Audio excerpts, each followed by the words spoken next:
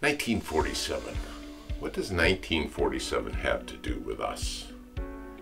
Has to do with a simpler life. People in 1947 lived a simpler life. There was no TVs. Houses had one bathroom, no garage. Half the families didn't have a car. There was no microwave. There was no electronics. There was nothing to entertain. People had to go play. Kids had to go outside and play with other kids.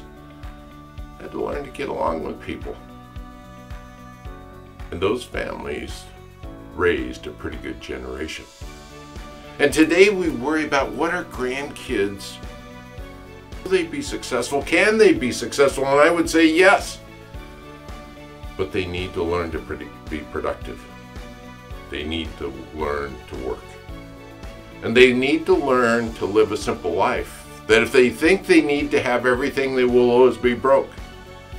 If they think they deserve it, if they think they should go buy it whether they can afford it or not, they will be broke. We need to live within a budget. We need to be productive. We need to have a simple life. And I think we will all have happier lives. We get so tied up in all this stuff, all the things we need to have to be happy that we can't be happy. We don't have time to be happy. There's too many things broken down to be happy. Let's live a simple life today. Help your grandkids.